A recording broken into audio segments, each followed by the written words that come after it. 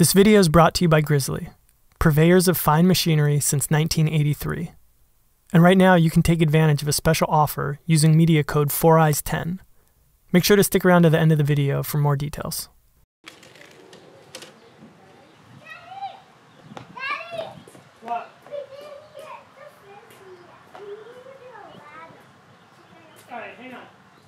Dolores.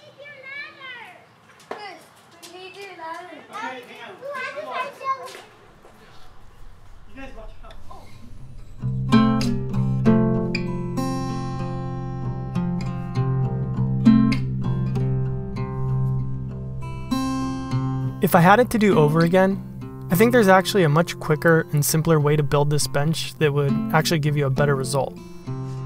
That said, this was an idea that I'd been wanting to explore for a while, so in that sense, I'm glad that I did it this way. I'll get into what I would change later, but just to foreshadow a bit, it has entirely to do with the design of the top and the pattern that I had CNC routed into it. So, I guess the good news is, if you don't have access to a CNC router, you could still build this thing, and it's actually pretty easy. There really isn't that much to it. So there are only three pieces that make up this entire bench, a top and two legs. I started off with the top because it was a big beefy piece and I just wanted to get it out of the way first. I don't think I've ever really gone over how I mill my lumber in a video before, and I think this top probably exemplifies a scenario where good milling is crucial, more than anything else that I've made on the channel so far at least. So this is probably a good time to do it. So after I'd selected all the pieces that I was going to use for the top, I took them over to the jointer. The top is made out of 8 quarter maple, which is just shy of 2 inches thick. The finished piece is going to be closer to about an inch and a half thick, so there's plenty of room for fine tuning the wood to get it nice and flat. Once each piece had a face that was good and flat, I turned them on their edges and took a couple more passes to get one of the edges flat. So by the time that's finished, you're left with one good face and one good edge that are nice and flat and form a perfect 90 degrees. Next I take my pieces over to the table saw and cut them a little wider than what I'll need them to be in the end. So I've got three pieces. Say for example I wanted a finished top that was 18 inches wide. I'd cut them to about 6.5 inches at this point, and then cut the whole thing to the final width later. Anyway, I run the piece with the jointed edge on the fence so that when the cuts are made, I'm left with a piece that has two parallel edges and is equally wide across the entire length of the board. The last step in the milling process for me is thicknessing my pieces on the planer. The jointer gave us one flat face as you'll recall. So here we're going to make the other face flat, and we're going to bring down the thickness of the pieces so that they're all consistently an inch and a half thick all the way across the board. Sorry, here I'm just having a little fun with my new camera. Gotta love that slow-mo. And with that, I was ready to start gluing up my top. Here I'm just scraping and sanding off some excess glue. The new camera also makes doing time lapses easier. Now I'm going to set the top aside for a bit to focus on the base. I'm going to be making the pieces for the base out of a couple of leftover chunks of maple that I had laying around from other projects. So I started by cross-cutting the scrap to lop off the pieces that I'd actually be using. Next, I ripped all of the pieces to their approximate width.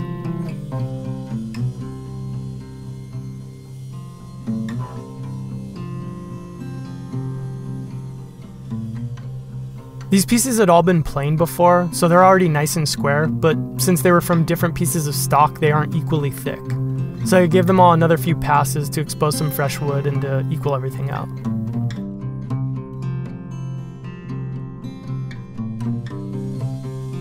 Next I took them back to the crosscut sled and cut all of what will end up being the horizontal pieces to their finished lengths.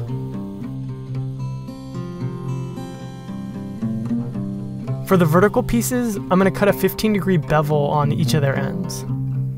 This will make it so that the legs end up as sort of rectangles that splay out. My original idea was to actually keep the trapezoidal shape of the Nelson bench legs, but splay them out as well. I drew out a few different versions of the idea, but the two angles just weren't really working together that well, so I opted to keep it rectangular instead. Here I'm transferring the angle of the miters I just made to the horizontal pieces. Then I'm going to take them over to my table saw and tilt the blade to match the line.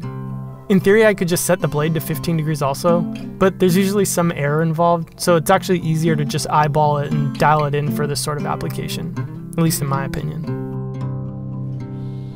Then I cut a bevel on all of the horizontal pieces so that they matched the miter cuts.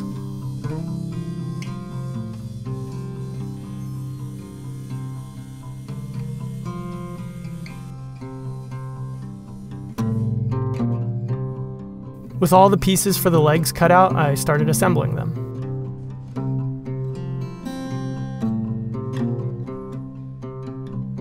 The real Nelson bench uses finger joints in these locations, but I decided to keep things simple and just use good old fashioned butt joints. Before you freak out, all these joints are going to be screwed together as well, so don't worry, they're going to be plenty strong. In this shot, now you can see the purpose for all the cuts and how it all comes together.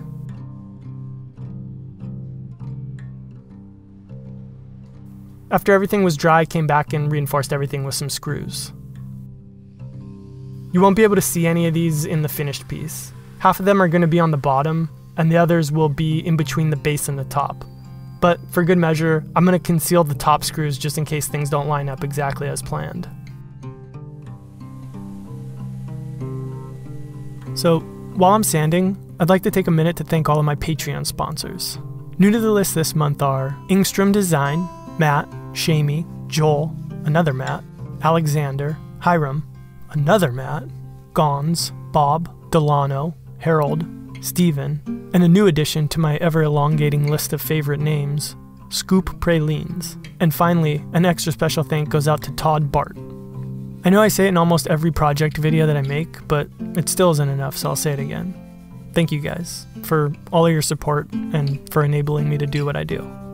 As a special thanks to everybody who's supporting me at the $5 or above tier, I'm going to be sending out these custom Four Eyes Field Notes booklets. So, what that means is I need your addresses if I don't already have them. So, be on the lookout for a message from me in early July with full instructions on updating your profile with your current address. Now, I would never tell anybody to sign up just to get a booklet, but if you do like the show and you want to learn how you can support it and you don't mind having a booklet as a side effect, there's a link to my Patreon page in the description. Check it out, and as always, no pressure.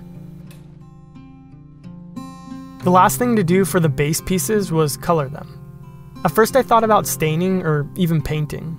I've never had great luck with black stain, but my buddy Johnny Brook from Crafted Workshop Check out his channel if you haven't already, by the way. So, Johnny heard me talking about this on my podcast and recommended this leather dye.